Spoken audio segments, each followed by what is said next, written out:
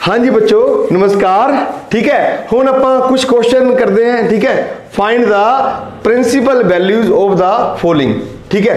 तो बच्चों, पहला है tan inverse minus square root three simple question है। Number one let tan inverse minus square root three it is equal to y ठीक है? क्योंकि फ़ंक्शन इनवर्टिबल है, ठीक है? तो therefore tan y it is equal to minus under root three अच्छा हूँ आप देखा भी टेन ठीक है? नैगेटिव बाद ही सोचते बाद चो आप भी अंडरूट थ्री वैल्यू किस एंगल पर अटेन करता देखो देखो, सानू पता भी टेन पाई बाय थ्री मतलब सिक्सटी 3 ਮਤਲਬ 60 it is equal to under 3 tan pi by 3 ਮਤਲਬ 60 ਜੋ 60 ਹੈ ਉਹ under 3 ਹੁੰਦਾ ਠੀਕ ਹੈ therefore we can write tan y it is equal to minus tan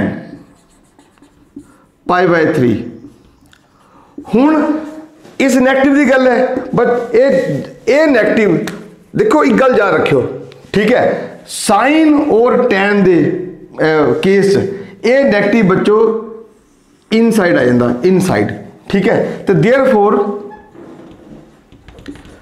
tan y it is equal to tan minus pi by 3 ਤੁਸੀਂ ਲਿਖ ਵੀ ਸਕਦੇ, ਕਾਰਨ ਕਾਰਨ ਇਹ ਹੈ ਬਿਕਾਜ਼ ਸਿੰਸ tan ਉਹ -x, it is equal to -10x ਬਿਲਕੁਲ।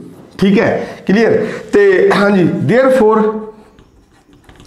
y is equal to minus pi by 3 ਤਾਂ therefore tan inverse tan inverse ਕਿੰਨਾ ਬੋਲੋ ਜੀ minus under 3 it is equal to minus pi by 3 ਦੇਖੋ ਇੱਕ ਗੱਲ ਹੋਰ ਵੀ ਦੇਖੋ ਤੁਸੀਂ tan ਵੱਲ ਧਿਆਨ ਦਿਓ ਇਹ ਇਹ ਬੱਚੋ tan ਦਾ ਆਪਣੇ ਕੋਲੇ ਇਹ tan ਇਨਵਰਸ x ਦੀ ਬੱਚੋ ਡੋਮੇਨ ਹੈ ਤੇ ਇਹ ਰੇਂਜ ਹੈ। ਓਕੇ ਹੁਣ ਦੇਖੋ ਵੀ ਬੜੀ ਸਿੰਪਲ ਜੀ ਗੱਲ ਹੈ ਵੀ √3 ਇਹ ਨੈਗੇਟਿਵ ਹੈ। ਠੀਕ ਹੈ? ਤੇ ਜਦੋਂ ਇਹਦੀ ਵੈਲਿਊ ਹੋਣੀ ਨਾ, ਉਹ ਨੈਗੇਟਿਵ ਵਾਲੇ ਖਾਨੇ ਜਾਣੀ ਬੱਚੋ, ਤੇ ਸਾਨੂੰ ਪਤਾ ਵੀ ਇਹ tan ਵਾਸਤੇ ਅਸੀਂ ਜਾਣਾ -π/2 ਔਰ π/2 ਦੇ ਇੰਟਰਵਲ ਦੇ ਵਿਚਕਾਰ ਠੀਕ ਹੈ ਤੇ ਇਹ ਵੈਲਿਊ ਦੇਖੋ ਇਹਦੇ ਵਿਚਕਾਰ ਹੀ ਆਈ ਓਕੇ ਠੀਕ ਹੈ clear in fourth quadrant therefore tan inverse -square root 3 is equal to -π/3 ਹਾਂਜੀ ਬੱਚੋ ਹੁਣ ਆਪਾਂ ਸੈਕੰਡ ਕੁਐਸਚਨ ਕਰਾਂਗੇ ਪੁੱਟ ਜਾਂ ਲੈਟ ਲੈ ਲਓ ਗੱਲ ਕੋਈ ਹੈ cos inverse -1/2 it is equal to by ਥੋੜਾ ਇਹ ਕੁਐਸਚਨ ਧਿਆਨ ਨਾਲ ਦੇਖਣ ਵਾਲਾ, ਠੀਕ ਹੈ? Therefore cos y it is equal to -1/2 ਤੁਸੀਂ ਪਹਿਲੇ ਇਹ ਦੇਖੋ ਵੀ cos, ਬਿਲਕੁਲ 1/2 ਛੱਡ ਦੋ ਪਹਿਲੇ ਆਪਾਂ 네ਗੇਟਿਵ ਨਹੀਂ ਲੈਣਾ, ਠੀਕ ਹੈ? 1/2 ਵੈਲਿਊ ਕਿਸ ਐਂਗਲ ਪਰ ਅਟੇਨ ਕਰਦਾ? ਉਹ ਲਿਖੋ ਪਹਿਲੇ। ਉਹ ਬੱਚੋ, ਉਹ ਐਂਗਲ ਹੈ 60 ਕਿੰਨਾ ਜੀ? 60 ਮੀਨਸ π/3 ਓਕੇ ਹੁਣ ਸਾਨੂੰ ਪਤਾ ਵੀ cos y ਦੀ ਵੈਲਿਊ ਠੀਕ ਹੈ ਕਲੀਅਰ ਆ ਗਿਆ। ਹੁਣ ਇੱਕ ਸਮੱਸਿਆ, ਦੇਖੋ ਧਿਆਨ ਨਾਲ, ਇੱਕ ਗੱਲ ਯਾਦ ਰੱਖਿਓ ਬੱਚੋ। ਪਹਿਲੀ ਗੱਲ sin of minus x ਜਾਂ ਕਹ ਲਓ, minus sin x it is equal to sin of minus x ਠੀਕ ਹੈ? ਓਕੇ ਦੂਜੀ ਗੱਲ ਯਾਦ ਰੱਖਿਓ ਬੱਚੋ, minus tan x it is equal to tan of -x ਠੀਕ ਹੈ ਓਕੇ ਤੇ ਅਸੀਂ ਹੁਣ ਦੇਖੋ cos x ਐਕਚੁਅਲੀ ਇਹਦੇ ਇਹਦਾ ਖਿਆਲ ਰੱਖਿਓ ਇਹ cos ਆਫ ਪਾਈ x ਹੁੰਦਾ ਐਕਚੁਅਲੀ ਪਤਾ ਪਰ ਸਮੱਸਿਆ ਕਿੱਥੇ ਆਂਦੀ ਤੁਹਾਨੂੰ ਮੈਂ ਗੱਲ ਦੱਸਦਾ ਤੁਸੀਂ ਇਹ ਗੱਲ ਯਾਦ ਰੱਖਿਓ ਵੀ sin of x it is always equal to sin x ਠੀਕ ਹੈ ਕਲੀਅਰ ਤੇ ਨੰਬਰ 2 ਜੇ ਆਪਾਂ ਬੱਚੋ ਲਈਏ tan of minus x, it is always equal to minus tan x. ਪਰ cos x ਇੱਕ ਸਮੱਸਿਆ ਹੈ, ਇੱਕ ਦਿੱਕਤ ਹੈ। ਉਹ ਬੱਚੋ ਸਮੱਸਿਆ ਇਹ ਹੈ ਕਿ cos of -x it is equal to cos x ਹੁੰਦਾ। ਜੇ ਆਪਾਂ ਦੇਖੀਏ ਨਾ, ਦੇਖੋ, ਆਪਣੇ ਕੋਲੇ ਆਪਣੇ ਕੋਲੇ 6 ਰੇਸ਼ੋਜ਼ ਹੈ, ਠੀਕ ਹੈ? sin x, cos x, tan x ਤੇ ਇਹਨਾਂ ਦੇ ਰੈਸੀਪ੍ਰੋਕਲ ਹਾਂਜੀ ਕੋਸੀਕੈਂਟ x ਸੀਕੈਂਟ x ਤੇ ਕੋਟੈਂਜੈਂਟ x ਹੁਣ ਪਤਾ ਕੀ ਇਹਦਾ ਚਲੋ ਮੈਂ ਤਿੰਨ ਲਿਖੀਆਂ। ਠੀਕ ਹੈ? ਐਕਚੁਅਲੀ sin x ਤੇ ਇਹਦਾ, ਇਹਦੇ ਨਾਲ ਹੀ ਬੱਚੋ ਰੈਸੀਪ੍ਰੋਕਲ ਵੀ। ਠੀਕ ਹੈ? ਇਹ ਦੋਨੋਂ ਹੀ 네ਗੇਟਿਵ ਮਤਲਬ ਅੰਦਰ 네ਗੇਟਿਵ ਬੱਚੋ ਉਹਨਾਂ ਦਾ ਬਾਹਰ ਆ ਜਾਂਦਾ। ਚਾਹੇ sin x ਹੋਵੇ, ਚਾਹੇ ਬੱਚੋ ਕੋਸੀਕੈਂਟ x ਹੋਵੇ। ਉਹੀ ਬਿਲਕੁਲ ਸੇਮ tan x ਹੈ। ओके टेन एक्स जो इन साइड नेगेटिव है ना टेन ओ माइनस एक्स ਇਹ ਵੀ ਬਿਲਕੁਲ ਬੱਚੋ ਬਾਹਰ ਆ ਜਾਂਦਾ -10x ਹੋ ਜਾਂਦਾ। ਪਰ cos x ਵਿੱਚ ਜਿਹੜਾ 네ਗੇਟਿਵ ਹੈ, ਉਹ ਅੰਦਰ ਹੀ ਖਤਮ ਹੋ ਜਾਂਦਾ। ਮਤਲਬ cos x cos x ਜੇ ਆਪਾਂ ਇਹਨੂੰ ਯਾਦ ਰੱਖਣਾ ਹੋਵੇ ਨਾ, ਤੇ ਇੱਕ ਤਰੀਕਾ ਇਹ ਹੈ ਕਿ ਤੁਸੀਂ ਇਹ ਸੋਚ ਲਓ, cos x is negative eater ਹਾਂ ਨੈਗੇਟਿਵ ਈਟਰ ਇਹਦਾ मीनिंग ਕੀ ਹੋਇਆ? ਕਿ ਜਦੋਂ ਕੋਸ ਦੇ ਅੱਗੇ 네ਗੇਟਿਵ ਆਉਂਦਾ, ਤੇ ਬੱਚੋ ਉਹ ਨੈਗੇਟਿਵ ਖਤਮ ਹੋ ਜਾਂਦਾ। ਠੀਕ ਹੈ, ਜਾਂ ਸੋਚ ਲਓ ਵੀ ਉਹ ਕੋਸ ਉਸ ਨੈਗੇਟਿਵ ਨੂੰ ਖਾ ਜਾਂਦਾ। ਠੀਕ ਠੀਕ ਕਲੀਅਰ ਤੇ ਹੁਣ ਦਿੱਕਤ ਕੀ ਹੈ ਜੇ ਮੈਂ ਇਸ ਨੈਗੇਟਿਵ ਨੂੰ ਅੰਦਰ ਲੈ ਕੇ ਜਾਵਾਂ ਓਕੇ ਕਲੀਅਰ ਠੀਕ ਹੈ? ਤੇ ਤੁਹਾਨੂੰ ਪਤਾ ਵੀ cos minus x of x cos x ਹੁੰਦਾ। ਆਪਣੇ ਕੋਲੇ ਤਾਂ ਕੀ ਬੋਲੋ ਜੀ? ਮਾਈਨਸ ਹੈ। ਤੇ ਤੁਸੀਂ ਕਰਨਾ ਕੀ ਬੱਚੋ ਇਧਰ ਇੱਕੋ ਹੀ ਖਾਸ ਗੱਲ ਇਸ ਗੱਲ ਦਾ ਖਿਆਲ ਰੱਖਿਓ ਵੀ ਜਦੋਂ ਕੋਸ ਦੇ ਅੰਦਰ ਨੈਗੇਟਿਵ ਲੈ ਕੇ ਜਾਣਾ ਓਕੇ ਤੇ ਤੁਸੀਂ ਇਹ ਨੈਗੇਟਿਵ ਲਾ ਲਿਆ। ਇਹ ਆ ਗਿਆ ਬੱਚੋ -π/3 ਪਰ ਇੱਕ ਬੱਚੋ ਇਹਦੇ ਅੱਗੇ ਲਗਾ ਦੇਣਾ ਪਾਈ। ਇਹ ਯਾਦ ਰੱਖਣ ਦਾ ਤਰੀਕਾ ਹੈ, ਪਾਈ ਮਾਈਨਸ ਪਾਈ ਬਾਈ 3 ਇੱਕ ਯਾਦ ਰੱਖਿਓ ਸਾਈਨ ਦੇ ਬਾਅਦ ਨੈਗੇਟਿਵ ਹੈ, ਲੈ ਜਾਓ ਅੰਦਰ, ਕੋਈ ਦਿੱਕਤ ਨਹੀਂ। ਕੋਸੀਕਨ ਦੇ ਬਾਅਦ ਨੈਗੇਟਿਵ ਹੈ, ਲੈ ਜਾਓ ਅੰਦਰ, ਕੋਈ ਦਿੱਕਤ ਨਹੀਂ। ਟੈਨ ਦੇ ਬਾਹਰ ਨੈਗੇਟਿਵ ਹੈ, ਲੈ ਜਾਓ ਅੰਦਰ, ਕੋਈ ਦਿੱਕਤ ਨਹੀਂ। ਕੋਟੈਂਜੈਂਟ ਐਕਸ ਦੇ ਬਾਹਰ ਨੈਗੇਟਿਵ ਹੈ, ਲੈ ਜਾਓ ਅੰਦਰ, ਕੋਈ ਦਿੱਕਤ ਨਹੀਂ। ਸਮੱਸਿਆ ਬੱਚੋ ਕੋਸ ਦੇ ਅੰਦਰ ਹੈ, ਜਾਂ ਸਾਈਨ ਜਾਂ ਕੋਸੀ ਜਾਂ ਉਹਦੇ ਰੈਸੀਪ੍ਰੋਕਲ ਸੀਕਨ ਚ ਹੈ। ਕੋਸ ਔਰ ਸੀਕਨ ਦੇ ਕੇਸ ਚ। ਜਦੋਂ ਤੁਸੀਂ ਨੈਗੇਟਿਵ ਅੰਦਰ ਲੈ ਕੇ ਜਾਣਾ ਓਕੇ ਜਿੱਦਾਂ ਮੈਂ ਇਹ 네ਗੇਟਿਵ ਅੰਦਰ ਲੈ ਕੇ ਗਿਆ ਤੇ ਪਰ ਬਾਹਰ ਉਹਦੇ ਨਾਲ ਨਾਲ ਕੀ ਲਗਾਇਆ ਬੋਲੋ, ਪਾਈ ਲਗਾਇਆ। ਇਹ ਬੱਚੋ ਯਾਦ ਰੱਖਿਓ ਇਸ ਗੱਲ ਨੂੰ, ਕਿਉਂਕਿ ਮੋਸਟਲੀ ਇੱਥੇ ਹੀ ਗਲਤੀ ਹੁੰਦੀ, ਠੀਕ ਹੈ? Therefore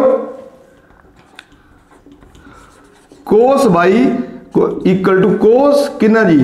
2 ਪਾਈ ਬਾਈ 3 ਤੁਸੀਂ ਵੈਸੇ ਵੀ ਦੇਖੋ ਨਾ ਵੀ ਕੋਸ ਦੀ ਗੱਲ ਕਰ ਰਹੇ ਆ, ਤੇ ਕੋਸ ਇਨਵਰਸ x ਦੀ ਜਿਹੜੀ ਰੇਂਜ ਹੈ ਨਾ, ਉਹ 0 ਤੋਂ ਪਾਈ ਹੈ ਤੇ 0 ਤੋਂ ਪਾਈ ਹੈ ਨਾ, ਤੇ ਪੋਜ਼ਿਟਿਵ ਤਾਂ ਇਹ ਆਪਣੇ ਕੋਲ ਜਿਹੜੀ ਇਹ ਵੈਲਿਊ ਪੋਜ਼ਿਟਿਵ ਹੁੰਦੀ, ਤਾਂ ਜਿਹੜਾ ਐਂਗਲ ਆਣਾ ਥਾ ਬੱਚੋ ਆਣਾ ਥਾ ਫਰਸਟ ਕੁਆਡਰੈਂਟ 'ਚ। ਹੁਣ ਇਹ ਵੈਲਿਊ ਨੈਗੇਟਿਵ ਹੈ ਤੇ ਨੈਗੇਟਿਵ ਵਾਸਤੇ ਆਪਾਂ ਕੋਸ ਦੇ ਕੇਸ ਜਾਂਦੇ ਸੈਕੰਡ ਕੁਆਡਰੈਂਟ 'ਚ। ਤਾਂ 2π/3 lies in the second quadrant ਠੀਕ ਹੈ clear therefore therefore, y is equal to 2 pi over 3 ਤਾਂ देयरफॉर ਇਹ ਆਪਣੇ ਕੋਲ ਆਨਸਰ ਆ ਗਿਆ ਬਟ ਇਸ y ਦੇਖੋ ਧਿਆਨ ਨਾਲ cos inverse minus 1 by 2 it is equal to 2 pi by 3 ਹੁਣ ਆਪਾਂ ਕੁਐਸਚਨ ਕਰਾਂਗੇ ਥਰਡ ਠੀਕ ਹੈ ਤੇ ਪੁੱਟ tan inverse minus 1 it is equal to y ਠੀਕ ਹੈ, ਹੁਣ ਦੇਖੋ, tan ਦੇ ਅੰਦਰ ਨੈਗੇਟਿਵ ਹੈ।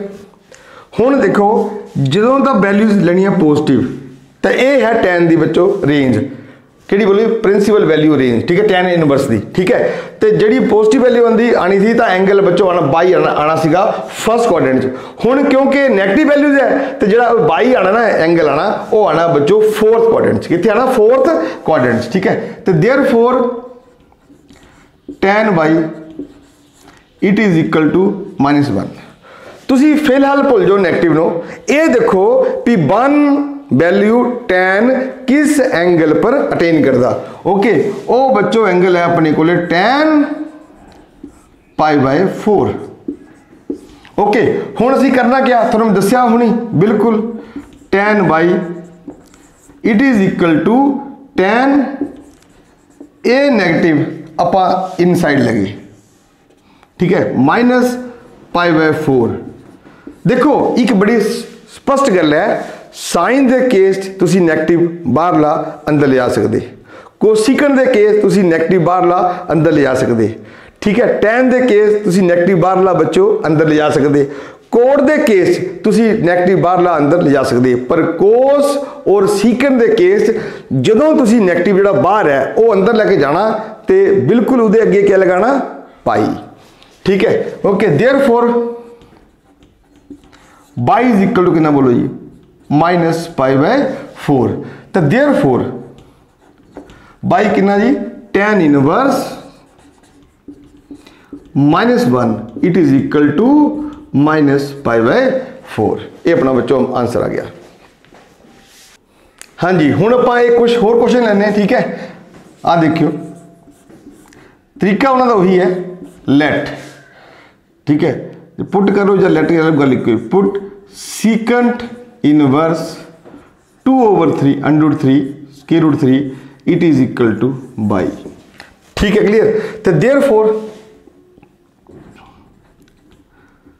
2 over ਜਾਂ therefore secant by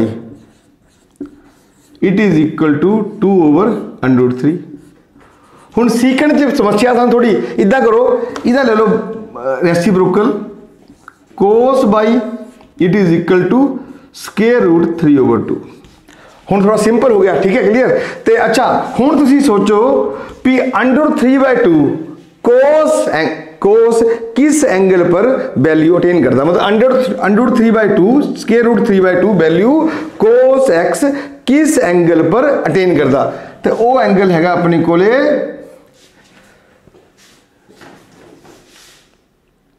हाँ जी, वो लगेगा वो वैल्यू टेन करता थर्टी पर। थर्टी कि जी बोलो जी?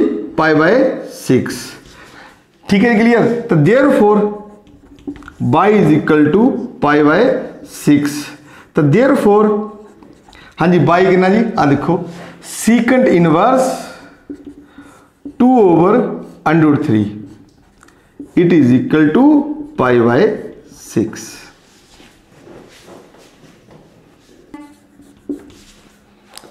ਹਾਂਜੀ ਹੁਣ ਦੇਖੋ number 2 put cot inverse square root 3 it is equal to by therefore cotangent by it is equal to square root 3 ਅੱਛਾ ਹੁਣ ਤੁਸੀਂ ਇਹ ਸੋਚੋ ਕਿ ਕੋਟੇਂਜੈਂਟ ਬਾਈ ਠੀਕ ਹੈ ਜੇ ਥੋੜਾ ਸਿੰਪਲ ਕਰਨਾ ਤਾਂ ਇੱਕ ਹੋਰ ਸਿੰਪਲ ਕਰ ਲਓ ਇਹਨੂੰ ले लो reciprocal tan y it is equal to 1 by under root 3 1 by under root 3 ਹੁਣ ਤੁਸੀਂ ਦੇਖੋ ਵੀ 1 by under root 3 value tan ਕਿਸ ਐਂਗਲ ਪਰ ਅਟੇਨ ਕਰਦਾ ਠੀਕ ਹੈ ਜੀ ਉਹ ਐਂਗਲ ਹੈ ਆਪਣੇ ਕੋਲੇ ਪਾਈ ਬਾਈ 6 30 ਡਿਗਰੀ ਠੀਕ ਹੈ ਕਿਉਂਕਿ tan 30 1 ਬਾਈ ਅੰਡਰੂਟ 3 ਠੀਕ ਹੈ ਤੇ therefore y is equal to pi by 6 ਤਾਂ therefore, y ਕਿੰਨਾ ਕਿੰਨਾ ਆ ਗਿਆ ਜੀ ਕੋਟ ਇਨਵਰਸ ਬਿਲਕੁਲ ਜੀ cot inverse under 3 it is equal to pi by 6 ਅੱਛਾ ਹੁਣ ਦੇਖੋ, ਦੂਸਰਾ ਕੁਐਸਚਨ ਦੇਖੋ। Second one third one let ਜਾਂ put cos inverse 1 by √2 it is equal to ਆ ਦੇਖੋ ਕੋਸ ਦੇ ਅੰਦਰ ਫਿਰ 네ਗੇਟਿਵ ਆ ਗਿਆ ਆ ਗਿਆ 네ਗੇਟਿਵ ਇਹਦਾ ਥੋੜਾ ਖਿਆਲ ਰੱਖਿਓ ਇਸ ਗੱਲ ਦਾ ਠੀਕ ਹੈ ਇਹਨੂੰ ਕੋਸ ਨੂੰ ਧਿਆਨ ਨਾਲ ਕਰਨਾ ਆਪਾਂ ਨੇ ਤੇ therefore cos y it is equal to minus 1 by square root 2 देखो, सुनो, p एक्चुअली cos ਦੇ अंदर वैल्यू नेगेटिव है, ठीक है? ਤੇ ਇਹ ਬੱਚੋ, ਇਹ ਕੋਸ ਇਨਵਰਸ ਦੀ ਡੋਮੇਨ ਹੈ, ਠੀਕ ਹੈ? ਸਾਨੂੰ ਪਤਾ ਵੀ ਜੇ ਤਾਂ ਵੈਲਿਊ ਪੋਜ਼ਿਟਿਵ ਹੋਵੇ, ਹਨਾ ਕੋਸ ਦੇ ਡੋਮੇਨ ਦੀ, ਤਾਂ ਜਿਹੜਾ ਬਾਈ ਐਂਗਲ ਆਣਾ ਨਾ, ਉਹ ਆਣਾ ਆਪਣੇ ਕੋਲੇ ਫਸਟ ਕੁਆਡਰੈਂਟ 'ਚ।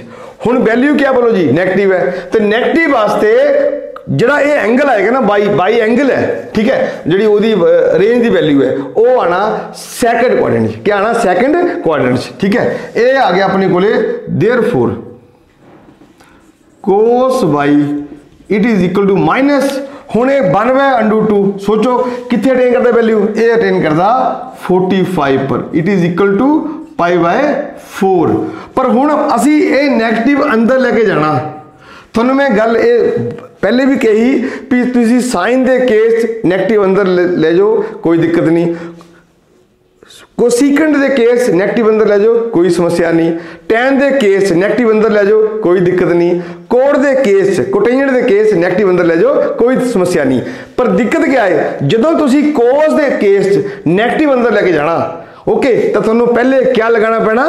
ਪਾਈ ਠੀਕ ਹੈ? ਤੇ therefore cos y it is equal to cos ਹਾਂ, ਇਹ ਇਸ ਗੱਲ ਦਾ ਖਿਆਲ ਰੱਖਿਓ ਪਾਈ ਇਹ ਲੱਗਿਆ, ਠੀਕ ਹੈ? ਤੇ ਨਾਲ ਫਿਰ ਨੈਗੇਟਿਵ ਅੰਦਰ ਆਇਆ ਇਦਾਂ ਨਹੀਂ ਆਉਂਦਾ, ਠੀਕ ਹੈ? ਕਲੀਅਰ ਓਕੇ ਤਾਂ therefore cos pi is equal to cos ਕਿੰਨਾ ਬੋਲੋ ਜੀ ਥ੍ਰੀ ਪਾਏ ਬਾਏ ਫੋਰ ਤਾਂ therefore y is equal to three pi by four ਤਾਂ ਦੇਅਰ ਫੋਰ ਹਾਂਜੀ ਬੋਲੋ ਜੀ ਹੁਣ ਕੋਸ ਕਿੰਨੀ ਵੈਲੀ ਜੀ ਬਾਈ ਆਹ ਦੇਖੋ ਕੋਸ ਇਨਵਰਸ ਬਿਲਕੁਲ ਜੀ cos inverse minus one by square root two it is equal to three pi by four ਹੁਣ ਦੇਖੋ ਇਹ ਬਿਲੋਂਗ ਵੀ ਕਿਹਨੂੰ ਕਰ ਰਿਹਾ ਆਹ ਦੇਖੋ ਬਿਲੋਂਗ ਕਰ ਰਿਹਾ ক্লোਜ਼ ਇੰਟਰਵਲ ਹਾਂਜੀ 0 ਟੂ ਪਾਈ ਇਹ ਸੈਕੰਡ ਕੁਆਡਰੈਂਟ ਠੀਕ ਹੈ ਆ ਦੇਖੋ 3 ਪਾਈ ਬਾਈ 4 ਹੈ ਨਾ ਇਹ ਬਿਲੋਂਗ ਵੀ ਕਿਹਨੂੰ ਕਰ ਰਿਹਾ ਬੋਲੋ ਜੀ 0 ਟੂ ਪਾਈ ਨੂੰ। ਆਣਾ ਵੀ ਇੱਥੇ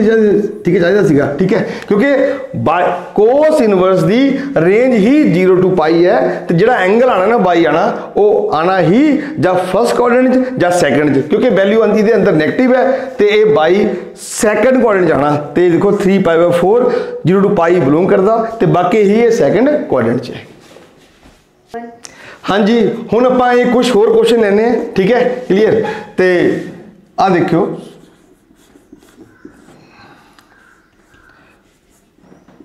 ਹਾਂ, ਠੀਕ ਹੈ ਜੀ consider tan inverse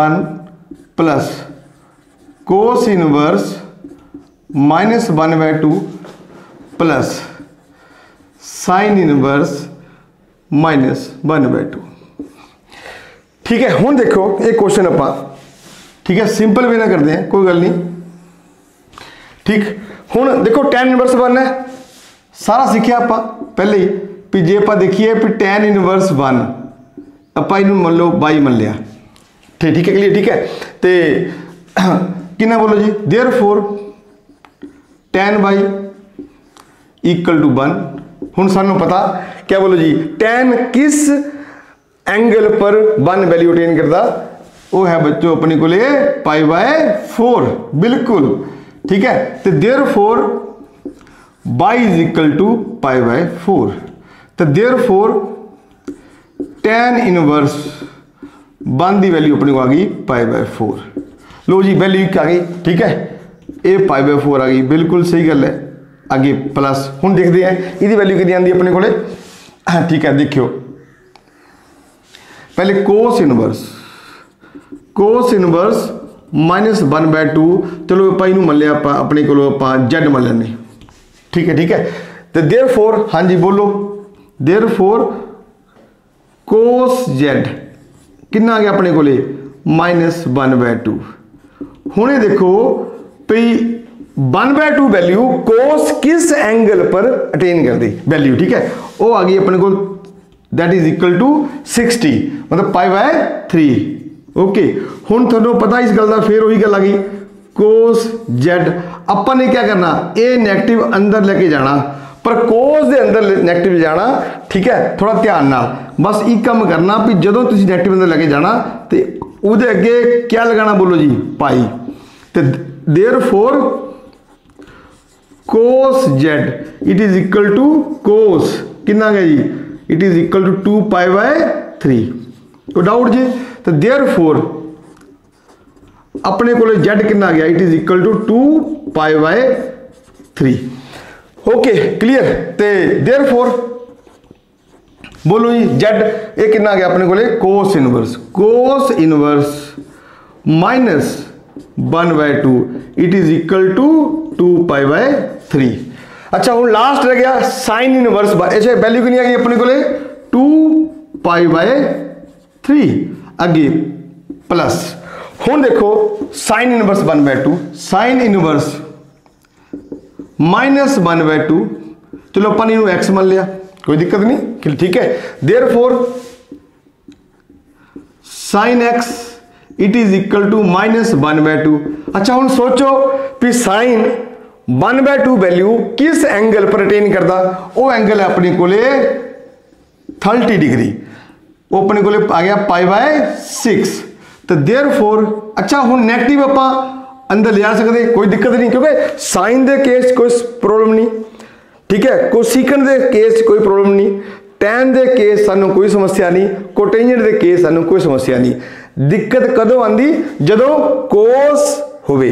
ਤੇ ਜਾਂ ਹੋਵੇ ਸੀਕੈਂਟ ਐਕਸ ਜਦੋਂ ਉਸ ਕੇਸ ਚ ਤੁਸੀਂ 네ਗੇਟਿਵ ਅੰਦਰ ਲੈ ਕੇ ਜਾਣਾ ਤੇ ਨਾਲ ਲਗਾਣਾ ਮੋਰੇ ਅੱਗੇ ਪਾਈ ਲਗਾਣਾ ਠੀਕ ਹੈ ਤੇ ਦੇਖੋ ਕਿੰਨਾ ਆ ਗਿਆ ਜੀ sin x it is equal to sin minus pi by 6 ਤਾਂ therefore x equal to minus pi by 6 ਤਾਂ therefore ਅੱਛਾ x ਕਿੰਨਾ ਆਪਣੇ ਕੋਲੇ sin inverse minus 1 by 2 it is equal to minus pi by 6 okay ਜੀ, ਹੁਣ ਆਪਣੇ ਕੋਲੇ ਕਿੰਨਾ ਆ ਗਿਆ ਜੀ? It is equal to minus pi by 6 ਅੱਛਾ, ਇੱਕ ਗੱਲ ਹੋਰ ਦੇਖੋ, ਤੁਹਾਨੂੰ ਮੈਂ ਇੱਕ ਗੱਲ ਦੱਸਦਾ। ਦੇਖੋ, tan ਇਨਵਰਸ ਹੈ ਨਾ, ਠੀਕ ਹੈ? ਸਾਨੂੰ ਪਤਾ ਵੀ tan ਇਨਵਰਸ ਦੀ ਜਿਹੜੀ ਰੇਂਜ ਹੈ ਨਾ, ਉਹ 0 to sorry minus pi by 2 minus pi by 2 to pi by 2 open interval ਹੈ। ਕਲੀਅਰ ਹੈ? ਤੇ ਵੈਲਿਊ ਪੋਜ਼ਿਟਿਵ ਹੈ, ਤੇ ਐਂਗਲ ਆਣਾ ਫਸਟ ਕੁਆਡਰੈਂਟ 'ਚ।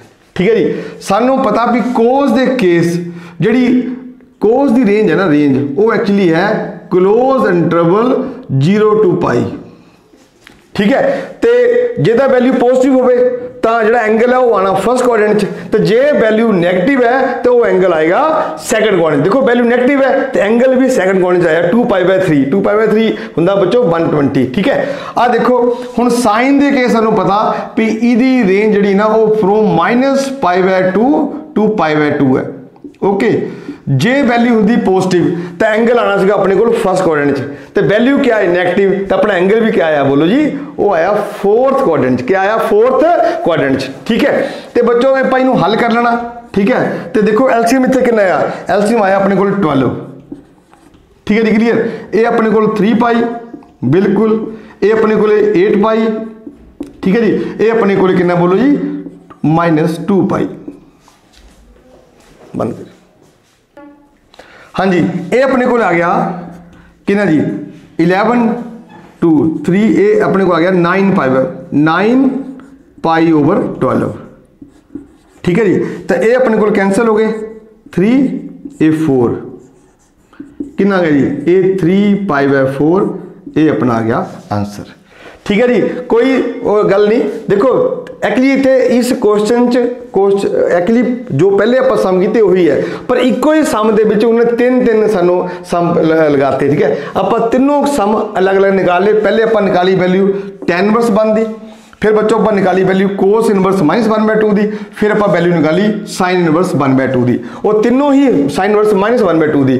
ਤਿੰਨੋਂ ਹੀ ਵੈਲਿਊ ਆਪਾਂ ਇੱਥੇ ਪੁੱਟ ਕਰਤੀਆਂ, ਠੀਕ ਹੈ। ਤੇ ਆਪਣਾ ਲਾਸਟ ਵਿੱਚ ਆਨਸਰ ਆ ਗਿਆ।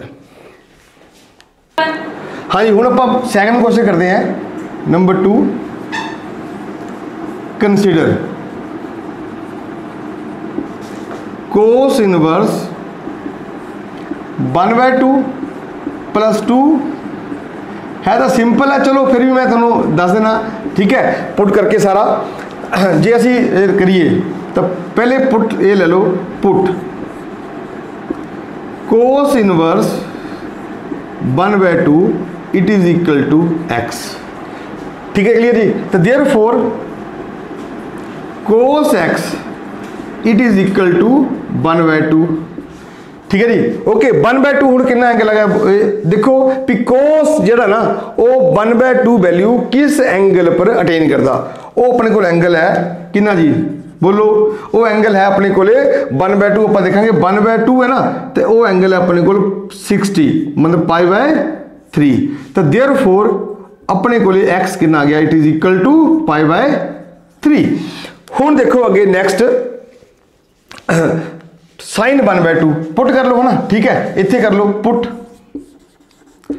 sin inverse 1/2 it is equal to y ਠੀਕ ਹੈ ਕਲੀਅਰ ਜੀ ਤਾਂ देयरफॉर ਹਾਂਜੀ therefore sin y it is equal to 1/2 ਅੱਛਾ ਹੁਣ ਇਹ ਸੋਚੋ ਇਹ ਇਦਾਂ ਸੋਚਣਾ ਆਪਾਂ ਨੇ ਵੀ sin 1/2 ਵੈਲਿਊ ਕਿਸ ਐਂਗਲ ਪਰ ਅਟੇਨ ਕਰਦਾ ਹੈ ਨਾ ਠੀਕ ਹੈ ਤੇ ਉਹ ਆਪਣੇ ਕੋਲ ਐਂਗਲ ਹੈ 30 ਡਿਗਰੀ ਬਿਲਕੁਲ ਸਹੀ ਗੱਲ ਹੈ 30 ਨੂੰ ਆਪਾਂ ਲਿਖਾਂਗੇ ਪਾਈ ਬਾਈ 6 ਓਕੇ ਕਲੀਅਰ ਜੀ ਤਾਂ देयरफॉर y ਕਿੰਨਾ ਆ ਗਿਆ ਜੀ y is equal to Bhai by 6 ਤਾਂ देयरफॉर y ਹੈ ਕਿੰਨਾ ਆਪਣੇ ਕੋਲੇ Sin inverse 1 by 2 it is equal to pi by 6 ਇਹ ਦੇਖੋ ਇਹ x ਹੈ ਨਾ ਆਪਣੇ ਕੋਲ x ਕਿੰਨਾ ਜੀ cos ਇਨਵਰਸ ਬਿਲਕੁਲ ਸਹੀ ਗੱਲ ਹੈ 1 by 2 it is equal to pi by 3 ਹੁਣ ਦੇਖੋ therefore ਹੁਣ ਆਪਾਂ ਲੱਗੇ ਕਰਨ therefore